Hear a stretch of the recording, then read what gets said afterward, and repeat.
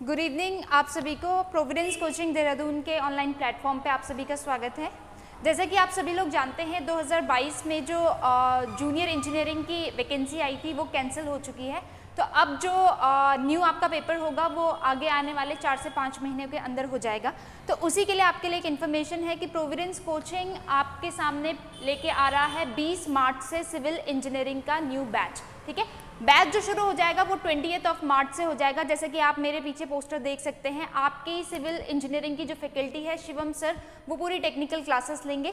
परीक्षा का जो पैटर्न है वो क्या रहेगा? आपका एक टेक्निकल सेक्शन रहेगा, दूसरा जो पेपर होगा आपका वो नॉन टेक का होगा, जिसमें आपका हंड्रेड मार्क्स का हिंदी होगा और हंड्रेड मार्क्स का ही आपका क्या होगा? इंग्लिश का सेशन होगा। ठीक है? चलिए थोड़ी सी जानकारी मैं आपको दे देती हूँ कि आपका जो मैं आज डिस्कशन करने वाली हूँ, वो है आपका कि हिंदी से प्रीवियस ईयर के जो पेपर हैं, जो 2022 में हुआ था लास्ट एग्ज़ाम जो हुआ था इसका उसमें आपका हिंदी का सेक्शन में किस टॉपिक से कितने मार्क्स के क्वेश्चंस को कवर किया गया है?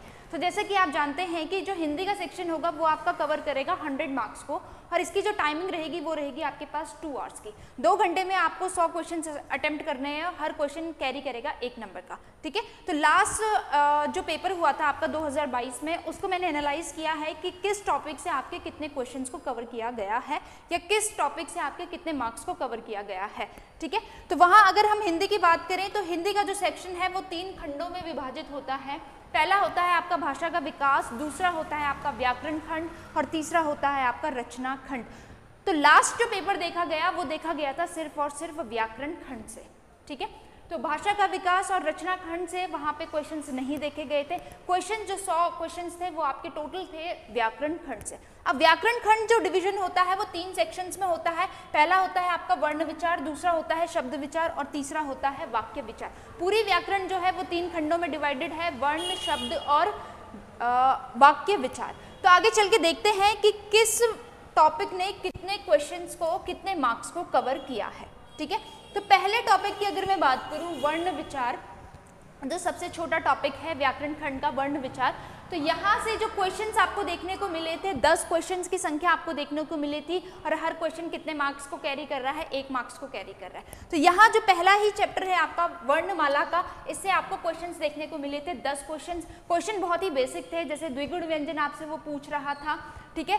स्वजातीय स्वरों को वो पूछ रहा था, विजातीय स्वरों को वो पूछ रहा था पार्श्विक स्वर आपसे पूछ सकता है लुंठित स्वर आपसे पूछ सकता है। तो ये जो पूरा सेक्शन है वो कितने मार्क्स को कवर कर रहा था? आपके टेन मार्क्स को कवर कर रहा था ठीक है? बढ़ते हैं अपने दूसरे सेक्शन की तरफ़। दूसरा जो सेक्शन है आपका वो कहता है आपका आ, शब्द विचार से ठीक है? शब्द विचार में जो आपके आते हैं वो आता है आपका संधि आता है समास आता है उपसर्ग आता है और प्रत्यय आता है। संधि से जो लास्ट टाइम क्वेश्चंस देखे गए वो आपकी कितने क्वेश्चंस थे? संधि से जो क्वेश्चंस पुटअप हुए थे वो आपके पाँच क्वेश्चंस पुटअप हुए थे। दूसरा टॉपिक इसमें कवर करता है समाज को। समाज से भी उसने कितने क्वेश्चंस को उठाया था? पाँच क्वेश्चंस को उठाया था। मीन्स पाँच मार्क्स आपका समाज कैरी कर रहा था और पाँच मार्क्स आपका क्या कर रहा था? संधि कैरी कर रहा था। वहीं चार क्वेश्चन उसने उपसर्ग से लिए थे। प्रत्यय से भी आपके कितने क्वेश्चन देखने को मिले थे? पाँच क्वेश्चन हमें देखने को मिले थे। ठीक है? तो ये तो था कि आ, शब्द विचार से कितने टॉपिक्स ये चार टॉपिक्स जो थे संधि समास उपसर्ग और प्रत्यय जो शब्द का क्या करते हैं निर्माण करते हैं। शब्द निर्माण की जो चार इकाइयाँ हैं संधि समास उपसर्ग और प्रत्यय इन चारों से ही आपको कितने मार्क्स का पंद्रह और चार उन्नीस। उन्नीस मार्क्स आपके आ, शब्द विचार ने कैरी करे थे मीन शब्दों का निर्माण जिन तरीकों से होता है उनने कितना मार्क्स कैरी किया? आपके 19 मार्क्सों को कैरी किया। फिर आता है आपका शब्दों का वर्गीकरण। शब्दों का वर्गीकरण में आपके चार फैक्टर्स होते हैं उत्पत्ति के आधार पर रचना के आधार पर, विकार के आधार पर और लास्ट रहता है आपका अर्थ के आधार पर, ठीक है? उत्पत्ति के आधार पर जो उसने क्वेश्चन आपसे पूछे थे, तत्सम, तद्भव शब्दों को देशज विदेशज शंकर शब्द, इस तरीके से क्वेश्चन उसने पूछे थे। किसी का तत्सम रूप पूछ लिया था, किसी का तद्भव रूप, ये शब्द देशज है या विदेशी है या शंकर है, इस टाइप के क्वेश्चन देखने को मिले थे। दूसरा रचना के हिसाब से अगर वर्गीकरण देखें तो उसने रूढ़, यौगिक और योग रूढ़ शब्दों को पूछा था। तीसरा, विकार के आधार पर। विकार के आधार पर दो कैटेगरी में आपके शब्द बढ़ते हैं, विकारी और अविकारी शब्द। विकारी शब्द का जो सेक्शन है, वो संज्ञा, सर्वनाम, विशेषण और क्रिया। इन चारों लिंग, वचन, काल और कारक, इन सबसे भी क्वेश्चंस देखने को मिला था, ठीक है? नेक्स्ट जो अर्थ के आधार पर है, आपके अर्थ के आधार पर अगर मैं बात करूँ तो अर्थ के आधार पर जैसे समानार्थी शब्द हो गए, विलोम शब्द हो गए, पर्यायवाची शब्द हो गए तो ये जो पूरा सेक्शन था आपका, तत्सम, तद्भव, देशज, विदेशज, संकर शब्द, संज्ञा, सर्वनाम, विशेषण, क्रिया अविकारी शब्द, क्रिया विशेषण, संबंध बोधक, समुच्च बोधक, ये सब जो पूरा सेक्शन था, जो जिसे हम कहते हैं शब्दों का वर्गीकरण, जो चार तरीकों से किया जाता है, ये पूरा मार्क कैरी कर रहा था कितने आपके? ट्वेंटी मार्क्स को।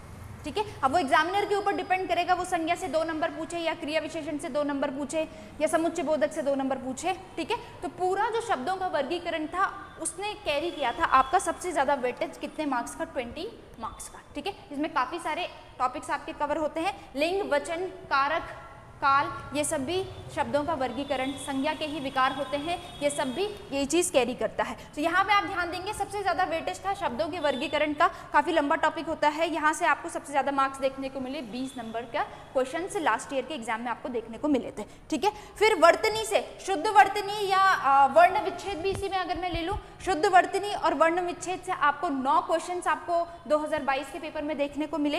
विराम चिन्ह से सिर्फ़ और सिर्फ़ आपको एक ही क्वेश्चन देखने को मिला। मिला था, ठीक है? तो यहाँ पे आपने क्या देखा?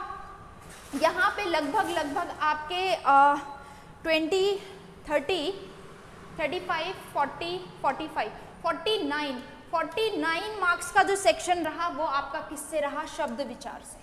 ठीक है? 49 मार्क्स का जो सेक्शन रहा, वो आपका रहा शब्द विचार से। वर्ण विचार से, वर्णमाला से जो सेक्शन रहा था, वर्णमाला से जो क्वेश्चन देखने को मिले थे, वो मिले थे आपके 10 क्वेश्चंस आपको वर्णमाला से देखने को मिले थे। तो यानी कि वर्णमाला से आपको 10 क्वेश्चन और शब्द विचार जो पूरा टॉपिक है आपका, उससे आपको 49 मार्क्स के क्वेश्चन देखने को मिले थे लास्ट ईयर के एग्ज़ाम में। ठीक है? चलिए, आगे बढ़ते हैं। तीसरी जो इकाई है तीसरी जो, तीसरा जो खंड है व्याकरण का, सबसे मेन खंड, वो क्या कहता है आपका व्याकरण विचार। ठीक है? वो क्या कहता है आपका व्याकरण विचार। तो देख लेते हैं, व्याकरण विचार से आपको कौन कौन से क्वेश्चन या कितना वेटेज इसने लिया व्याकरण विचार ने व्याकरण विचार की अगर मैं बात करूँ तो इसमें आपके वाक्य वाला जो सेक्शन है, वो पूरा कवर करता है। ठीक है? वाक्य वाले सेक्शन से हमें क्या देखने को मिला? वाक्य के भेद उसने पूछ लिए। ठीक है? वाक्य के आपके तीन तरीके के भेद होते हैं। रचना के आधार पर, अर्थ के आधार पर और क्रिया के आधार पर, ठीक है? रचना के आधार पर भी क्वेश्चंस देखने को मिले, अर्थ के आधार पर भी क्वेश्चंस देखने को मिले, क्रिया के आधार पर क्वेश्चंस देखने को नहीं मिले थे 2022 के पेपर में। तो यहाँ जो इसने मार्क कवर किया, वो आपका किया है छह नंबर का, ठीक है? वाक्य शुद्धि, कहीं पे कोई अशुद्धि दी थी, वो आपको पहचाननी थी या आपको चार ऑप्शन मिले थे और बोला था कि कौन सा वाक्य शुद्ध है? ठीक ठीक है? तो दोनों टाइप के क्वेश्चन देखने को मिले। उसने आपका कैरी किया पाँच मार्क्स को, ठीक है? मुहावरे मुहावरे और लोकोक्ति ठीक है? मुहावरे और लोकोक्ति जो लर्न करने वाले टॉपिक्स हैं, इसमें आपको कितना देखने को मिला। पाँच नंबर की जो उसने मुहावरे पूछे और पाँच नंबर की उसने क्या पूछ ली? लोकोक्ति पूछ ली। ठीक है? फिर आपको एक सेक्शन देखने को मिला था, रिक्त स्थान वहाँ पे भरने थे। सही शब्दों को वहाँ पे आपको चुनना था। ठीक है? ये भी किस कैटेगरी में आता है? आपके वाक्य विचार की ही कैटेगरी में आता है। ठीक है? लास्ट जो नाइन मार्क्स का जो सेक्शन आपको देखने को मिला, वो मिला आपको अनसीन पैसेज से मीन्स अपटित गद्यांश से। अपटित गद्यांश से क्वेश्चंस कुछ भी पुट पुटअप हो सकते हैं, या तो वो शीर्षक पूछ ले, या गद्य को पढ़ के ही आपने क्या करना होता है क्वेश्चंस को हल करना होता है। वहीं गद्य से ही वो आपको अर्थ भी पूछ सकता है, शब्दों का शीर्षक भी पूछ सकता है। जो उसकी इच्छा हो, वो उस गद्यान से आपको क्या कर सकता है, पूछ सकता है। तो यहाँ आपने क्या देखा?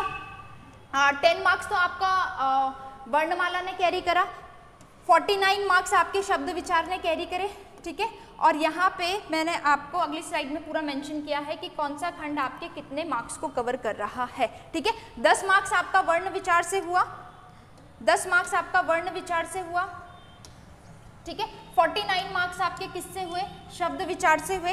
एक मार्क्स का जो सवाल था, वो उसने किससे पूछ लिया? रचना खंड से, ठीक है? रचना खंड जो तीसरा सेक्शन है, शब्द शक्ति, ठीक है?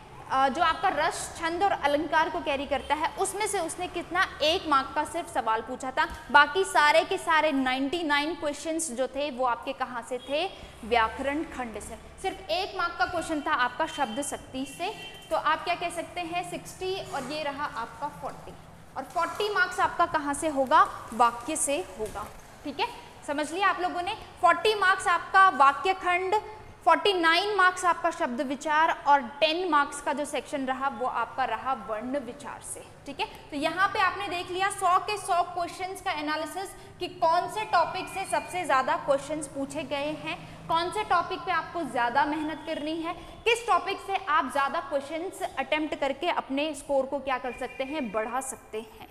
ठीक है? तो आपके पास बहुत अच्छी अपॉर्चुनिटी है। फिर से गवर्नमेंट ने आपको अपॉर्चुनिटी दी है कि जिन लोगों का लास्ट टाइम एग्ज़ाम सही नहीं रहा तो वो आप थोड़ी मेहनत और कर लें तो जल्द ही एग्ज़ाम को निकालने में सक्षम रहेंगे। ठीक है? तो ध्यान रखिएगा प्रोविडेंस कोचिंग में जो बैच शुरू हो रहा है, आपका सिविल इंजीनियरिंग का वो होगा ट्वेंटी ऑफ़ मार्च से। इसकी जो टाइमिंग रहेगी, वो रहेगी आपकी 11 बजे से। 11 से डेढ़ बजे तक आपका टेक्निकल रहेगा। टेक्निकल के सारे सब्जेक्ट शिवम सर द्वारा पढ़ाए जाएँगे, ठीक है? फिर आपको हाफ़ एन आवर का ब्रेक मिलेगा। फिर आपके दो से दो पैंतालीस तक हिंदी की क्लास होगी, जो मेरे द्वारा ली जाएगी। सेकेंड जो आपकी क्लास होगी, वो होगी इंग्लिश ग्रामर की, वो शुभम सर लेंगे। थर्ड जो आपकी क्लास होगी, वो होगी डेली प्रैक्टिस सेशन की। मीन्स क्लास को पढ़ने के बाद ही आप रोज़ाना 50 क्वेश्चंस को क्लास में ही अटेम्प्ट करेंगे। ठीक है? तो ये आप लोगों की हैबिट में हो जाएगा। फोर मंथ्स तक अगर आप डेली 50 क्वेश्चंस अटेम्प्ट करते हैं तो आप, क्योंकि एंड में जाके तो आपने क्वेश्चन ही करने आपकी जो कमांड हो जाएगी क्वेश्चंस में, वो बहुत ही अच्छी हो जाएगी। ठीक है? तो ध्यान रखिएगा प्रोविडेंस कोचिंग में ट्वेंटी ऑफ़ मार्च से आपका सिविल इंजीनियरिंग का बैच शुरू होगा। बैच की टाइमिंग जो रहेगी, वो रहेगी सुबह ग्यारह बजे। ठीक है? कल मैं आपके सामने प्रीवियस ईयर के क्वेश्चन पेपर्स का सॉल्यूशन लेके आऊँगी। हम देखेंगे क्वेश्चन को कैसे अटेम्प्ट करना है, ठीक है? तो कल इसी टाइम पे हम लोग मिलेंगे कल क्वेश्चंस के सॉल्यूशन के साथ, जो लास्ट ईयर का पेपर था आपके उसके सॉल्यूशंस के साथ। तो ध्यान रखिएगा ट्वेंटी ऑफ़ मार्च टाइमिंग रहेगी आपकी 11 बजे। कोर्स जो होगा वो दोनों मोड में अवेलेबल होगा ऑनलाइन भी रहेगा और ऑफलाइन भी रहेगा, ठीक है? अधिक जानकारी के लिए आप शिवम सर के नंबर डिस्क्रिप्शन में दिया भी होगा। और मैं बोल भी देती हूँ eight two seven nine seven zero six four three seven पर कॉल करके एडिशनल इन्फॉर्मेशन ले सकते हैं। ठीक है? आज के लिए इतना ही। Thank you